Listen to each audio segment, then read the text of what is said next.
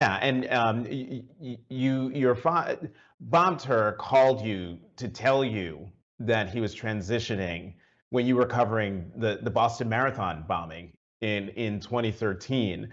Um, folks can read how that call went, but I want to keep going on um, your father's lack of willingness to take responsibility um, for what happened during your childhood. Um, you you you tried to you tried to talk about your childhood with with Zoe, but you write, "quote It felt like my dad was using a get out of gender free card I didn't know existed." Why do you think Zoe Tur won't take responsibility for what Bob Tur did?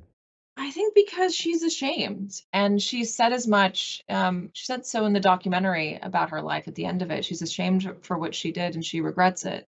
Um, and I think it's hard to confront the the the bad things that any any. I mean, if I if if it were me, it would be hard for me to confront it. Um, and I, I empathize with that. But I also know that you know, as a mother myself, you have to confront the things that are hard and uncomfortable in order to move past them to to gain an understanding of them and to and to break that cycle. I mean it's the same for our country. We've got to mm-hmm. confront the ugly parts of our past. We can't just bury them or pretend they didn't happen.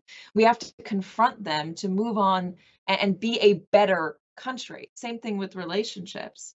And you know while that was a real pivotal moment in my life what i was finding and this is you know part of what started to click for me over the pandemic was that we're also faced in a you know really pivotal moment in in the world and a pivotal moment for journalism in general the way that we are able to speak to people what we are able to to tell people how we are able to educate people. It's broken right now jonathan i know you know this and i think the the Jan- January 6th insurrection and all that we are witnessing now during these hearings is exemplifying um, an astounding failure of this country to to come together on basic facts, an astounding failure of one man who happened to be president to accept the truth.